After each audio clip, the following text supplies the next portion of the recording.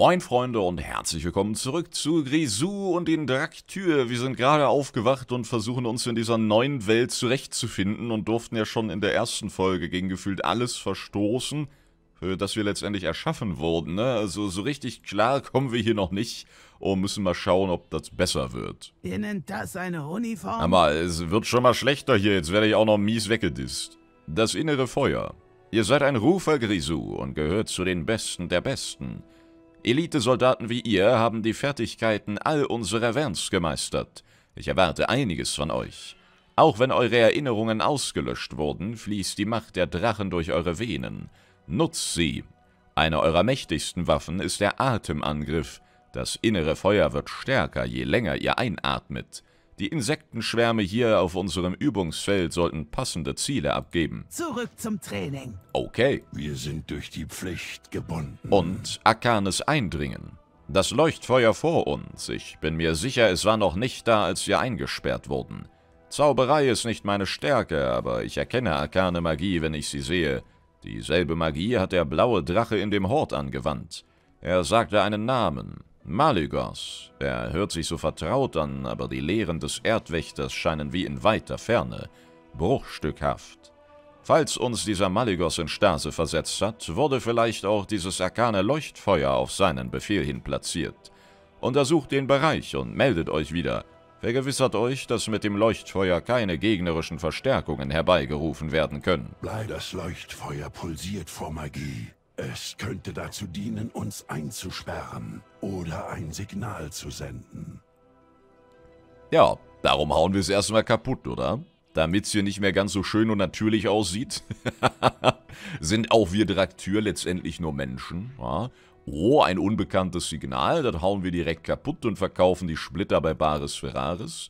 Oh, eine seltene Insektenspezies. Ja, was sollen wir tun? Ja, wir töten die erstmal und hängen die uns über den Kamin, oder? Wunderbare Sache. Ah, ich muss ja gar nicht bestimmt viele töten. Oh, sondern ich muss ja nur die unterschiedlichen Stufen üben, ne? Bam! So, Nummer 1. Und dann können wir hier mit diesen Kristallen resetten. Und dann sagen wir, Bam, Nummer 2. Ey, ich bin der größte Atmer, der je gelebt hat, Freunde. Ja, so sieht's aus. Alle verneigen sich vor mir. Und wir sind der Elite-Elite-Soldat. Wir haben also all diese Warns gemeistert. All diese Spezialisierungen, wenn man so will. Hier für ein Kämpfchen? Wir können direkt kämpfen, wir können ein bisschen schleichen oder den Gegner eben aus dem Himmel überfallen, ne? Schleichen, ja, weiß ich nicht, ob das noch was wird in diesem Leben. Und wir können auch heilen, ja, also wir sind hier als Spieler diejenigen, auf denen natürlich die gesamte Hoffnung ruht und darum sind wir ein bisschen krasser und fallen aus diesem Konzept wieder raus. Gut, ihr erinnert euch an euer Training. Haltet den Kopf unten und die Lungen voll Luft. Ihr habt eure Befehle. Nice. Ja, wer es eben vielleicht nicht richtig gesehen hat, ne, man kann hier wirklich bei den Draktür, falls ihr euch mit denen noch gar nicht beschäftigt habt, wir sehen dort unten den Angriff unterschiedlich stark aufladen. Natürlich, umso länger man den auflädt, umso stärker dann der Effekt, aber je nach Situation natürlich auch nicht immer möglich. Ne? Deswegen muss man da auch so ein bisschen abwägen. Nun wollen wir aber gucken, was es hier mit diesem Leuchtfeuer auf sich hat. Mehr Magie oder mehr Magie. Oder beides.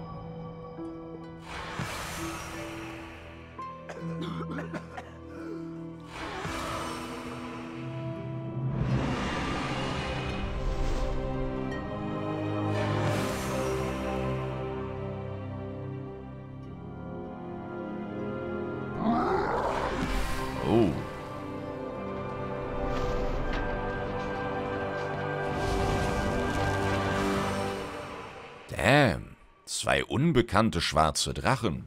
So, so. Und die Echsenmenschen greifen an. Diese verdammten Facebook-Mitarbeiter sind mittlerweile wirklich überall. Kann man nicht anders sagen. Okay, wir haben einiges in Erfahrung bringen können. Wir werden beobachtet und die anderen Vans, die kämpfen hier bereits um ihr Leben. Und da haben vermutlich andere Kämpfer ein bisschen bessere Chancen als die Heiler, ne? Insofern sollten wir schauen, dass wir uns als Traktür hier wieder vereinen können. Und hier werden schon die, die bestellten Kisten geliefert, Alter. Der Amazon-Drache ist auch dabei. Dicht gefolgt vom Zalando-Drachen. Gucke, der geht schon wieder ins Lager. Wir sind der Schild der Draktür. Ja, ja, ist ja bald Weihnachten. Hier, guckt euch den an. Ach du Scheiße, da sind die ganzen iPads drin. Läuft bei uns. Arkanes Eindringen. Azuratel hört konzentriert zu, als ihr ihm erzählt, was ihr erlebt habt. Also wurden auch vor den anderen Horten Leuchtfeuer platziert. Unsere Verbündeten sind in Gefahr. Wir müssen sie erreichen. Die Draktür will... Da kommen sie! Sterbt, Draktür! Glutal! Jo! Dem Erdwächter sei Dank. Wir benötigen ihre Weisheit. Der Tod aus dem Himmel. Und da wird gar nichts weiter jetzt zu gesagt. Wir schweigen uns einfach an, wenn ich sie nicht anspreche. Ja, so ein Elite-Soldat bin ich, Leute. die elitäre Fangen wir an. Elite. Die Flügel ausbreiten. Es ermutigt mich zu sehen, dass so viele dem Kriegsort entkommen sind. Mein eigener Wern hatte nicht so viel Glück. Glutal steht einen Moment schweigend da. Es gibt noch weitere Horte, überall auf der Insel, voller Draktür in Gefahr. Es wird stärkere Flügel brauchen, um sie zu erreichen. Konzentriert euch. Erinnert euch an das, was ihr gelernt habt. Bekommt wieder ein Gefühl für den Wind. Ihr müsst eure Stärke wieder erlangen und zu den anderen Horten fliegen. Die Zeit für Ruhe ist vorüber. Wir werden Schön euch zu sehen, Glutal. Aber wo ist euer Wern? Ich bin erwacht. Die übrigen Draktür nicht. Möge man sich ihrer Namen erinnern. Möge man sich ihrer Namen erinnern. Oh, sie haben sogar feste Floskeln. Und ich kann nicht mitmachen. Ich habe keine Liste mit den Namen bekommen. Naja. Wir werden die Opfer auf unsere Art und Weise ehren. Und zwar mit einem schönen Flug. Irgendwelche neuen Entdeckungen? Lasst uns eure Flugausbildung mit Segeln beginnen. Bewegt euch einfach, sobald ihr zu fliegen beginnt, nach vorn, als würdet ihr gleiten. Der Unterschied ist, dass ihr schneller werdet, während ihr euch in dieselbe Richtung bewegt. Versucht durch die Ringe zu segeln, die ich heraufbeschworen habe. Es könnte ein paar Versuche brauchen, um sich daran zu gewöhnen. Das ist meistens so. Klare Himmel und starke Winde. Und das wird auch, das wird auch mit dem Drachenfliegen natürlich so sein, wenn es dann richtig losgeht mit Good Old Dragonflight. Aber auch da gibt es ein schönes Tutorial und ist natürlich irgendwo Übungssache. Also wer da vielleicht noch Angst hat, da habe ich viele gelesen, die erst ganz am Anfang sagten, haha, da krache ich ja runter wie ein Stein. und umso mehr sie davon gesehen haben, umso leiser wurde das Lachen dabei. Also, Freunde, das ist Übungssache letztendlich. Ja, da wird jeder im ausreichenden Rahmen zumindest mit zurechtkommen. Und, was ich festgestellt habe, ich selber habe solche Features, wie auch dieses Rumfliegen hier, wirklich sehr unterschätzt. Dachte erst, hä, was wollen die hier mit dem Rumgefliege, ja? Und hatte dann unglaublich viel Freude damit. Deswegen hoffe ich, das wird bei vielen ganz ähnlich sein. Ich denke nach. Ja, du bist ja aber mein Ausbilder. Was ist denn das für eine Ansage? Okay, als nächstes steht der Sturzflug an. Versucht beim Fliegen eure Nase nach unten zu richten. Während des Sturzflugs werdet ihr ordentlich Geschwindigkeit aufnehmen. Zieht eure Nase wieder nach oben, bevor ihr auf den Boden knallt, um die Beschleunigung mitzunehmen und all die Energie zu verbrauchen, die ihr während des Sturzflugs angesammelt habt. Seht doch mal, ob ihr alle Ringe erwischen könnt. Versucht es gern so oft ihr wollt. Zurück zu meinen Berechnungen. Ja, dann der Mathematikdrache. Hatte ja leider nicht so viel Zeit für uns, dann starten wir halt einfach so. Ja, Mann, schön durchgeflogen. Boom. Lieber durchfliegen als durchfallen, würde ich sagen. Gibt es auch Durchfalldrachen? Wenn die ihren Atem entfesseln, dann drehen die sich aber um, weißt du? Das ist ganz unangenehm. Nein, hallo, distanziere mich. Was haben wir noch? Das fortgeschrittene Fliegen. Die Draktür sind bereit. Vielleicht habt ihr ja mal bemerkt, dass ihr in der Luft eigentlich, äh, nicht eigentlich, sondern gelegentlich einen Schub nach vorne bekommt oder aufsteigt. Diese kurzzeitigen Effekte können euch einen zusätzlichen Geschwindigkeitsschub oder zusätzliche Zeit in der Luft verschaffen. Benutzt sie sparsam, denn ihr könnt sie bei jedem Segeln nur begrenzt einsetzen. Probiert es jederzeit aus. Bleibt standhaft. Okay, ich bleibe fliegen. Yay, okay, da soll ich rüber. Und wir gucken, dass wir unsere Fähigkeiten nutzen hier. Einmal so und einmal ein bisschen nach oben. Wow, das war fast zu krass. Junge, ich kenne meine eigene Kraft nicht. ich bin einfach zu heftig. Fangen wir an.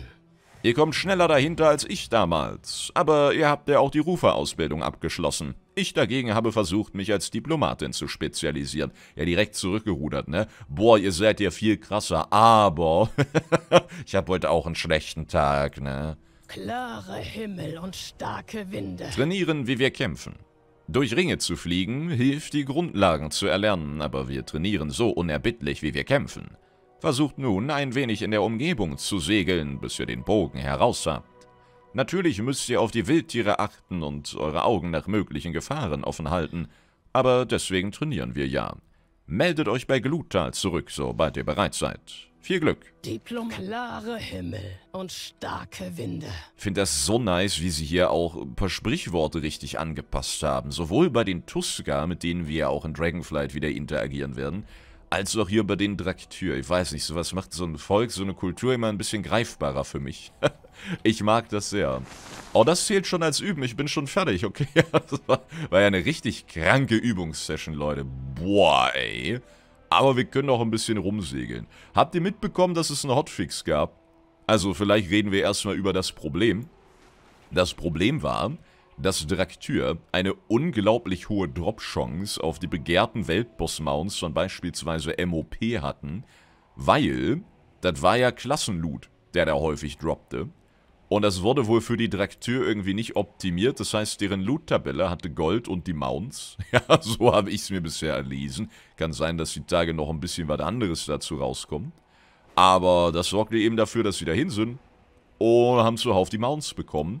Und Blizzard hat dann so reagiert, dass sie jetzt generell die Drop-Chancen von Rukma für diesen Sonnenfalken, vom Schar für die Wolkenschlange, von Galleon für den Sohn und so weiter, ne, all das haben sie ordentlich gepusht. Ey, ein Tuskadorf, was geht, ihr Eumel? Hallo, hier möchte ich landen. Wie schön, schaut mal. Siedler der Tuska. Jetzt wird dieser Tag interessant. Kümmert euch nicht um uns Fremdling, wir sind gerade erst angekommen und bleiben lieber für uns. Schnelle Beute Baby Tuska, schön, hat sich schon mal gelohnt, hier rumzuwuseln. I like. Und ja, dementsprechend, Freunde, wenn ihr noch die MOP-Mounts farmen müsst oder seit 20 Jahren durchgehend dabei seid, könnte jetzt ein bisschen besser laufen, ne? Was habt ihr zu berichten? Blizzard selber hat geschrieben, ich glaube, die genauen Drop-Chancen sind jetzt nicht klar, aber Blizzard selber meinte, sie haben die drastisch erhöht. Ja, die Chancen drastisch erhöht. Hm, das ist schon eine Ansage. Die Zeit wird knapp. Ein Sturm zieht auf. Dient ehrenhaft. Caldera der Heiler. Eure Vision vom arkanen Leuchtfeuer hat offenbart, dass Traktyr in ihren Horten eingesperrt sind. Wir können es uns nicht erlauben, noch mehr unserer Leute zu verlieren. Glutal hält mit gerunzelter Stirn inne. Die Heilschwingen sind die besten Heiler in unseren Rängen. Ihr Hort liegt innerhalb der Caldera der Heiler. Glutresch kennt den Weg. Lasst niemanden zurück, Rufer. Klar. Der Vishian kundschaftet den Hort der Schwarzschuppen aus. Glutresch und der Champion werden die Heilschwingen aufsuchen. Fliegt vorsichtig, meine Freunde. Drachen lauern überall. Aber wie belastend wir, ne? Vorhin haben wir noch groß debattiert, ob wir den bösen, uns beleidigenden blauen Drachen töten können. Weil eigentlich war das Motto, Drachen sind Freunde, kein Futter. Und jetzt, ja, ja, Vorsicht, Gefahren überall. Schon fürchterlich, oder? Wacht man in so einer Welt auf? Hat so viele Unsicherheiten? Und dann kommt nachher ja auch noch die Info, dass Deltarion verdorben wurde und getötet wurde und nichts mehr so ist, wie es war. Bis auf die uralten Gefahren, die immer noch sehr, sehr heftig drauf sind und uns immer noch alle vernichten wollen. Geil, ja. Neltarion würde uns sich vorknöpfen, sähe dieses Chaos. Wenigstens eine Konstante. Yay, ich freue mich voll. Ich bin bereit. Was braucht ihr? Viridia führt die Heilschwingen an. Falls sie verloren ist, weiß ich nicht, was ich, äh, was, was sie ohne sie tun werde. Warte, was? Was ich, was sie ohne sie tun werden? Ach so. Ah, ich verstehe. Ja, die mögen sich. Hm, Drachenliebe, Freunde. Und darum war Glutresch gerade in Gedanken, was soll ich ohne sie tun? Er hat sich dann aber an ihren Posten als Schuppenkommandantin erinnert und Gefühle, ha, Gefühle sind nur was für diese sterblichen Eumel. Hör mal, ja, wir brauchen die, wir brauchen nämlich Heilung. So sieht's aus. Okay. Die Heilschwingen brauchen uns. Los jetzt. Jo, dann einmal rüber, Drache erwache. Und wir machen schön die Flatter hier mit dem neu errungenen Speed-Up. Und wir sehen auch hier ist die Natur nicht untätig geblieben. Die holt sich hier alles zurück. Fehlt nur noch diese Löwenzahnmusik und dann brechen hier die ersten Blumen durch. das wäre bestimmt auch nicht im Sinne von Todesschwinge. Wir haben Verwundete. Aber das ist eher im Sinne von Todesschwinge. Ja, ja. Schön alles über den Haufen metzeln. Ihr nennt das eine Uniform? Seht nur all die Verwundeten. Drinnen sind noch mehr Heiler. Wir müssen ihnen helfen. Ihr habt eure Befehle. In den Bau. Ah, es geht in Knast, Leute. Prison Break, aber mit Drachen. Was auch immer das für ein Gift ist, das sich in diesem Hort ausgebreitet hat, es ist stark genug, selbst unsere besten Heiler auszuschalten. Das verheißt nichts Gutes, weder für mich noch für euch, Grisou. Aber das spielt keine Rolle. Dort sitzen Draktür in der Falle. Wir gehen rein, egal wie riskant. Atmet tief durch und folgt mir. Es war eigentlich nur ein Gag, dass das alles im Sinne von Todesschwinge oder damals Neltarion ist, ne, Glutresch? Wir müssen uns hier jetzt nicht irgendwie in den sicheren Tod stürzen. Alles. Viridia. Viridia? Seid ihr hier? Ach so, äh, wir brauchen ja die Heilung. Ja, ja, natürlich. Für, für so ein bisschen Heilung kann man sich mal in den Tod stürzen. Sieht ja gar nicht unheilvoll aus hier oder so. Guck mal, sogar der Wächterdrache hier, der Blaue, der diesen Hort bewachen sollte, ist schon zusammengefallen und es sind nur noch die Grippe übrig. Aber ja, wir gehen weiter ein bisschen Luft anhalten, oder? Dann wird das schon. Dürfen uns mal nicht so anstellen. Käfer, die uns fressen, hey, passiert. Normaler Montag. Ja, Freunde, das war's mit den Draktüren. Ah, ah, ah. Ganz ruhig, Glutresch. Fast. Ruhig. Wer... Viridia? Ich. Wir sind euch gefolgt. Sch, sch, sch, sch. Ich weiß. Ihr seid so mutig und töricht wie immer. Vor allem ist sie selber noch halb am Abkrepeln. Ich bin stolz, anderen zu dienen. Gut, ihr seid wach. Niridia räuspert sich. Wir benötigen jetzt die Fertigkeiten eines Rufers. Helft anderen, wenn ihr könnt. Ein giftiges Problem. Ihr erholt euch schnell, Grisou. Gut. Diejenigen, die meinem Hort entflohen sind, heilen, aber es sind noch immer welche im Inneren gefangen. Wenn ihr hineinstürmt, um sie zu retten, werde ich euch nur wieder herausziehen müssen. Rund um die Caldera liegen Käfernester verteilt. Ihre Giftdrüsen könnten ein Mittel sein, um die Wirkung dieses Gifts zu neutralisieren. Ich bin nicht dazu in der Lage, sie selbst einzusammeln. Ich muss auf eure Fertigkeiten vertrauen, Rufer. Gebt auf euch acht. Und leichte Beute. Die Wildnis rund um den Hort beheimatet Skitiden. Sie sind gefräßige Insektoide, oft territorial und aggressiv. All die Verwundeten würden für diese Bestien leichte Beute abgeben. Ich will nicht, dass sie unsere Heiler angreifen, während sie sich erholen. Aber danach ist okay, ne? Tötet so viele von ihnen wie möglich, während ich mich nach Viridia umsehe. Sie ist sehr tapfer. Ah, Ihr werdet gleich knutschen, oder? Bisschen Drachenzungenkuss, Alter. Wunderbare Sache. Zurück, legt euch hin, Viridia. Und ruht euch aus. Unsinn, mir geht es bestens. Oh. Aber kommt möglichst schnell mit den Giftdrüsen zurück. Dann werde ich mich mal beeilen, wa? Wir scheinen nicht ganz so viel Zeit zu haben hier. Ich gleite schon. Ich bin unterwegs. Ich würde ja super gern in diesem Notfall schnell rübersegeln. Aber ich habe leider noch 30 Sekunden Cooldown. Was hast du? Ja, Cooldown. der wahre Held. Der elitärste der Draktyr, ne? Er muss laufen, weil er hat Cooldown, Leute. Die Flügel, die sind gerade noch ein bisschen verspannt. Die müssen wir erstmal lockern, ne? Mit so ein bisschen Zumba. Mit so ein bisschen Ausdruckstanz, ja, ja. Und nein, selbst die Schäfchen haben Angst vor diesen verdammten Gottesanbeterinnen. Aber eigentlich muss man doch keine Angst vor denen haben. Es sei denn, man hat sich mit denen gepaart dann snacken die ja gern mal den Kopf von ihrem ne, Partner, ja. Äh, Partner nennen wir das mal. Die lieben sich dann innig, ja. Und dann sagt er, ha, Gabi, die Gottesanbeterin, ich habe noch nie ein so schönes Wesen gesehen wie dich. Und sie nur so, nom. Bruder, romantisch, ja. Romantischer wird es heute nicht mehr. Insofern haben wir hier drüben noch diese Quest mit diesem wundervollen kleinen Tuska, der wartet dort auf uns. Und dem müssen wir natürlich auch noch helfen, ne, mein Kleiner. Was hast du Schönes zu erzählen? Mama sagt, ich krieg größere Zähne als ein Mammut. Oh, der Tono. Die haben so schöne Stimmen, oder? Okay, tschüss. Äh, tschüss, die lispeln auch so ein bisschen wegen den Stoßzähnen. Finde ich klasse. Oh, wer seid ihr? Ja, Halper. Ich brauche Halper. Halper, Halper. Ich bin Tono und war auf Erkundung. Da bin ich gut drin aber ich habe nicht bemerkt, dass meine Schwester Ko mir gefolgt ist. Ich brauche eure Halper, sie zu finden, weil sie in Schwierigkeiten ist. Also habe ich eure Halper, bitte? Sie ist in diese Höhle gegangen, aber sie ist im Verstecken nicht so gut wie ich und unsere Eltern sind zu weit weg. könnt ihr sie finden, bevor es die Monster tun. Später Drachen steigen lassen? Ja, auch jetzt, oder? Also deine Schwester wird schon da drin ganz gut zurechtkommen mit diesen menschenfressenden Insektoiden. Geil. Ich werde mich hinter euch verstecken, aber passt bloß auf, dass die Monster mich nicht sehen, ja? Ja, oh Gott.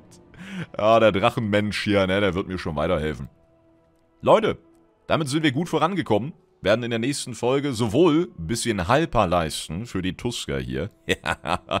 und dann diese miesen Insektoiden ausmerzen, damit wir dann den grünen Drachen hoffentlich weiterhelfen können. Oder den Draktyr. Wir müssen ja ein bisschen differenzieren jetzt hier. Ja? Dragonflight-Lore und so. Wilde Nummer. In diesem Sinne, danke fürs Zuschauen. Bis zum nächsten Mal. Haut rein und Tschauß.